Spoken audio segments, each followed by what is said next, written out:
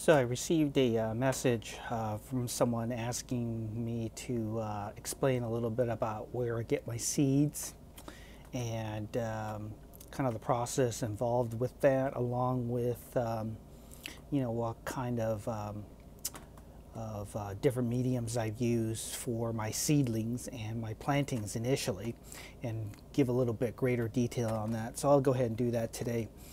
So what I do is in early uh, winter time, um, after all the growing has been done, everybody's done their cleanup, um, I'll go ahead and purchase my seeds for the following spring.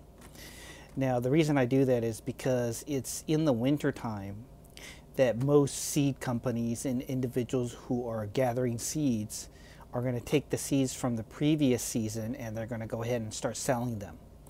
Now, I try not to buy seeds from uh, individuals who just happen to sell a few seeds off on the side. Just because of past experience, I've noticed that those individuals, uh, they don't do the proper steps in order to get uh, highly germinating seeds uh, that are going to be successful, basically. And the reason for that is they either haven't let their vegetables develop and mature long enough for the seeds to develop and become usable or they're people who, for example, they took a green pepper from the grocery store and then, you know, dried off the seeds and sold them on, let's say, on eBay. And uh, as uh, some of you already know, uh, for seeds to be successful, they have to be mature seeds, meaning that uh, the fruit or the vegetable has to be very well developed in order for it to be actually a good mature seed. If you took a green pepper or a cucumber or tomato from the grocery store and took those seeds and planted it, yes, it might grow, it may not grow, uh, but it won't develop and grow as successfully as a mature seed. The reason for that is because uh, at the grocery store, um, the produce that you receive from most grocery stores, uh, they've uh, been picked so early the seeds haven't matured. And so what I do is um, I have a few buyers or a few uh, companies that are selling on eBay, and you can tell who those are because they have thousands of orders. You know, say thousand sold or two thousand sold. And so what I do is I get on eBay and I just kind of look at what I want to grow. And so what I did was um, last winter, I made a list of all the things that I wanted to grow. I kind of picked a date on things and then made my list. And as you can see from this list, um, I start with the early vegetables first, the, the uh, frost or cold tolerant vegetables first. So I planted my cabbage, cauliflower, and broccoli first. And of course, I started the seeds indoors, but I had them growing pretty well, about anywhere from 3 to 10 inches before I put them outside. Now, some people will go ahead and put them outside within about 3 inches. I tend to wait till they're about 6 to 12 inches before I send anything out outside. And then the next thing that I grew were the sugar peas, snow peas, and snap peas. Um, they are cold tolerant too, and so I got them started next. And then after that, I started uh, my lettuce so that way I can have some vegetables already growing.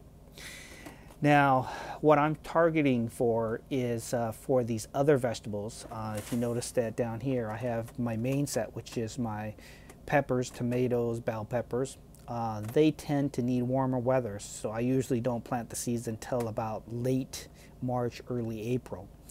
Uh, for tomatoes and bell peppers, they need daytime temperatures of, of about 65 to 75 minimum, and then nighttime temperatures about between 50 and 55.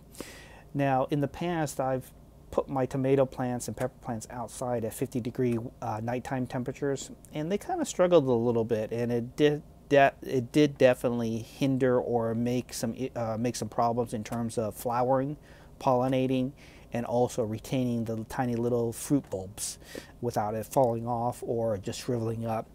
And so over the last couple seasons, I usually tend to wait until the nighttime temperatures are 55 degrees. I know some people wait till they're 45 to 50. Um, I tend to wait till 55 just because uh, it's much more beneficial. Now, um, after I take care of the tomatoes and the pepper, bell pepper seed, um, uh, seedlings and planting those seeds, um, I'll do my last set, which are going to be zucchini, eggplant, and cucumbers and beans because they tend to like um, a lot warmer weather. So for a zucchini, eggplant, and cucumbers and beans to really take off, they really like the hot weather. So I won't even plant the first set of um, seedlings um, and plant those seeds until about May 1st, and then I'll grow succession growing, and I'll grow some more on June 1st. And then in order for me to have pumpkins for the uh, uh October month, um, I'll plant those uh, May 21st to about uh, June 21st. And just in order to hit those targets right, I'll probably go ahead and plant, uh, you know, on those dates. So that way I kind of space it out in case I hit or, or it, it's whether it's earlier or a little bit later than I want. And so by picking May 21st and June 21st, I'll kind of get that sweet spot and, and uh, I'll have some sort of uh, pumpkins uh, for right in the October month. So let me get into uh, the seeds themselves. And so, like I said before, I grew my cabbage first, cabbage, broccoli, and cauliflower. And so with those items, um, I grew them in uh, a lot of soil mediums um, like perlite, which is kind of the rocky, airy um, um, soil mediums. And so with perlite, um, it's very light, airy. Uh, it's in a lot of potting soil because um, the ability for drainage. Now, uh, with cabbage, broccoli, and cauliflower, I tend to uh, grow most of those items in perlite or a combination of perlite and rock wool. Uh, the reason for that is um, I can leave my cabbage, cauliflower, broccoli uh, in perlite or rock wool until it's about uh, 6 to 10 inches and it'll be just fine. I don't even have to add any fertilizer or fertilizer solution in order for it to be still growing and looking healthy. Um, just the natural uh, first leaves that come out um, are going to be just fine. And then um, just through watering process, it'll be just still doing well on its own. Now, although I did grow these tomatoes in a combination of perlite and a little bit of rock wool here, uh, I used the rock wool cubes to put the seed in. And people say, how come with tomatoes you tend to do a combination of rock wool to perlite and also using uh, peat pellets? And the reason for that is, is um, with tomatoes, they have a tendency to fall down. Okay, the stems get too weak. And by putting it in rock wool, I noticed that there's more root formation to keep it upright. But really, my favorite, although I kind of am lazy because, as you know, I tend to take my tomato seedlings, let them grow um, minimum six inches before I take them outside. And sometimes I'll leave them, let them grow about 10 to 12 inches. Um, the reason I like using those Jiffy peat pellets and growing them in that medium is because um, I notice with tomatoes and bell peppers, because I'm keeping them indoors for so long, and because so many true leaves are forming with my tomatoes before they go outside, um, it usually needs additional nutrients before I put it in its final resting home, which is basically these coolers, right? So I take my I take my coolers and drill some holes and I put it in its final resting place. The problem with this situation is, is my tomatoes are usually going to be about 6 to 12 inches before I take them outside. And they can't survive and form all those layers of, of true leaves when they're growing their second and third and fourth true set of leaves. Um, they need, tomatoes and peppers do need additional nutrients. In order for it to get its nutrients, um, by time the third true sets or the second and third true leaves are formed, um, they're going to need additional nutrients, right? And so, like on this particular tomato plant, you'll notice that the first baby leaves came out here, and then we got our true leaves here. Once it gets its second and third and fourth true set of leaves, it's going to be needing additional nutrients. So, what I'm going to do is with this basket case I use, I'm going to go ahead and I'm going to add fertilizer solution or hydroponic solution and fertilizer water um, into this bucket. And so that way it wicks up all that uh, fertilizer water. Now, initially, the very first time I put some solution in here, I'm going to go ahead and probably use one third hydroponic solution to two thirds water because I wanted to have it diluted because I don't want to shock the plant with too much fertilizer at the beginning. And I'll kind of build it up just like you harden your plants before you take them outside fully. Uh, same thing with the solution. I like to kind of go a little bit weaker and then build its way up. But in order for it to continue to develop its second, third, fourth, and beyond true leaves, um, it needs additional, um, you know, ability to grow itself because uh, the water, water alone and the first set of leaves that go on here are not enough nutrients to keep this going on its own. Now, going back to the Jiffy peat pellets, the reason I like these, although I'm lazy in terms of the cleanup of it, is that this is a combination of peat moss and soil and it has nutrients in it. So these seedlings that I put in here that are growing, these tomatoes, they're going to go ahead and as they grow their second, third, fourth true set of leaves, the nutrients from that soil are going to be enough to keep it growing. And I have it in a south facing area and uh, uh, initially because of the spacing I have the grow lights here but uh, you know I have a really nice uh, south facing window that gets a ton of light. And with that along with this soil medium it's enough nutrients to get, get it growing and it can be you know six to ten inches before I take them outside and it'll be just fine. The only problem is with any type of soil medium um, in order for me to put it its final resting place, which is the styrofoam coolers that I do the um, you know the hydroponic solution in. Um, I'm going to have to rinse this soil off, you know, and separate it from the root system uh, before I plant them into the coolers, and that's where it gets kind of messy. And I kind of hate having to sit there and do each individual plant, and that's why I typically have kind of somewhat avoided doing this with all my plants. With tomatoes and peppers, because the additional growth needed, um, the fact that I don't have to mess around with uh, solution water at the beginning, I go ahead and do that with the tomatoes and peppers. But when it comes to uh, certain other vegetables, I can get away with using this uh, perlite or using a straight uh, rock wool solution. Um, if you look at my list previously, you'll notice that I have um, my sugar peas, snow peas, snap peas. They grew in the soil medium where I just put them in straight um, perlite.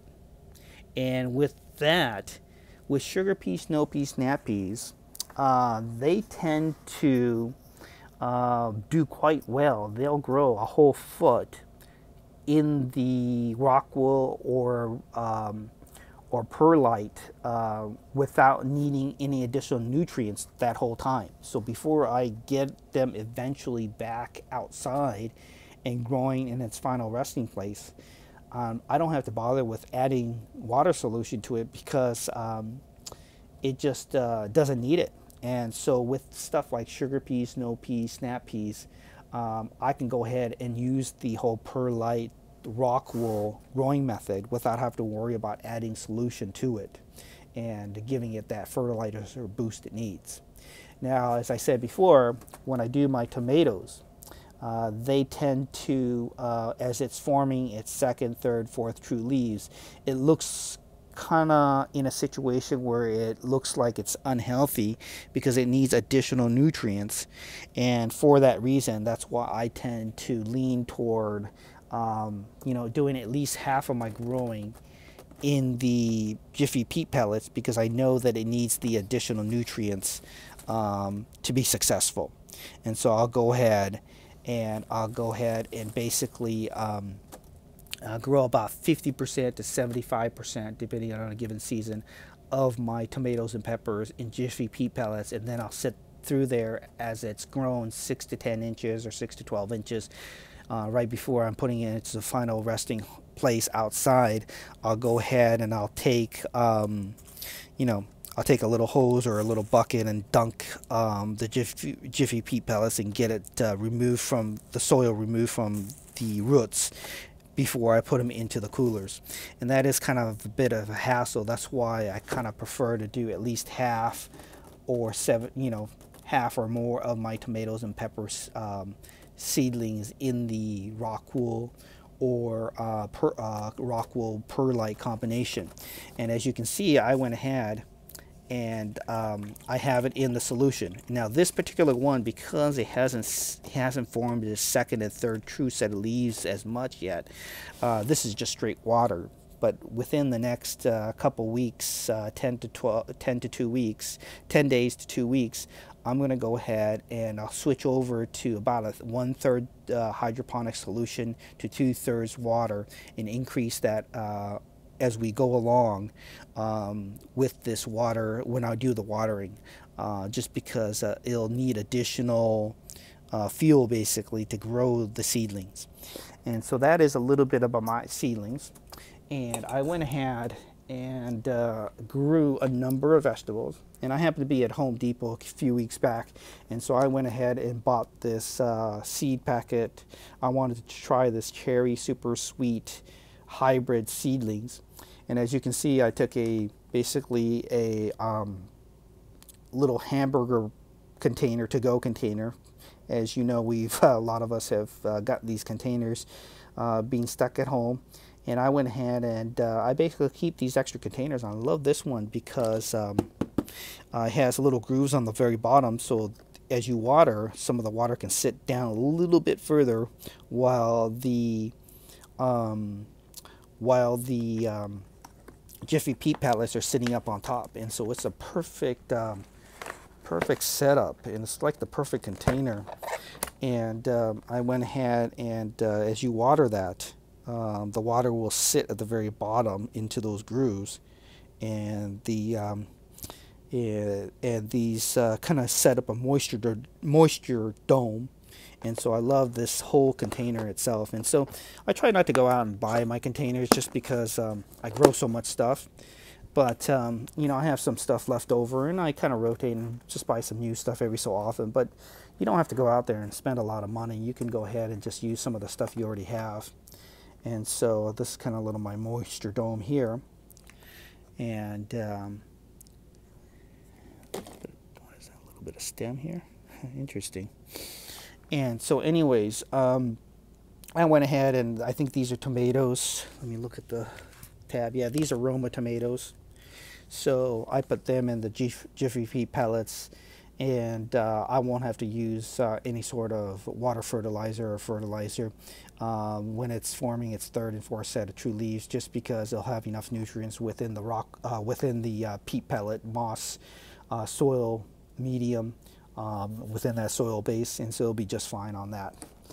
And then um, with the um, some of these other sweet banana peppers I think I went ahead and I put them straight into the rock wool.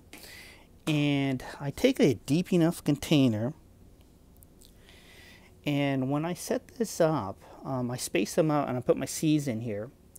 And with these sweet banana peppers, um, and sweet banana peppers, uh, what I basically am doing is I space them out and within about 10 to 14 days they'll start sprouting. Now because this soil medium is so relaxed, um, and so airy and so light, I'll have about half an inch to an inch of water sitting at the very bottom. It'll kind of evaporate and move, and, and also with it touching the other millings of rock wool in there, it'll go ahead and, and bring the water up. And so when you touch this, you can feel that it's damp. Now, what'll happen is once this starts sprouting, um, the roots are going to go ahead and start spreading and I like that because it doesn't really hinder it like uh, it does with Jiffy peat pellets. But then what I'll do is I'll go ahead and as it uh, grows, uh, when it's about uh, 6 to 10 inches, I'll go ahead and um, I'll go ahead and replant them outside.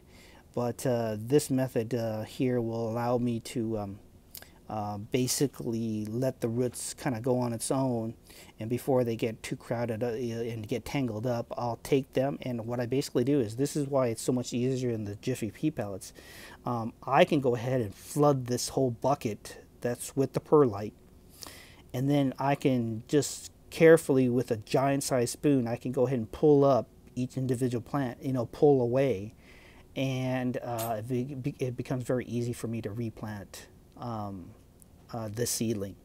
Now with the just Peat pellets, because I'm doing this hydroponic method and I'm not planting it into the ground, I've got to take each peat pellet, I got to rinse the dirt off, kind of make sure the roots are okay, and then I'll have to plant in the box. And from past experience of doing this a number of years, it's kind of a pain for me and I'm lazy uh, versus being able to just take a giant spoon, flood this whole bucket, scoop out with a giant spoon the seedling that's about six to 10 inches tall and then put it right into my uh, hydroponic buckets. And so that's a little bit about the seedlings, uh, how I go about purchasing. And most of my seeds I purchase on eBay. Uh, I buy them from um, seed, actual seed sellers that sells anywhere from one to five. It'll show that they sold 1,000 to 10,000 different seeds already to people. Uh, I tend to avoid the ones that are into selling individually or it doesn't look like uh, they sell too many seeds because um, uh, or I look at their comments and uh, they have very poor germination. And in the wintertime, I have a lot of time to kind of sit on the couch or in bed and just kind of look to see what kind of seeds are out there. I kind of choose my list of what I want to grow and then I buy those seeds according to it. And I grow my, you know, my favorites. I grow the tomatoes, the peppers, the cucumbers, the beans, the zucchinis, eggplant, cauliflower, broccoli, uh, a little bit of corn this year. And so it's usually about the same stuff. And so um, I just kind of go through eBay and find the seed sellers and purchase from them.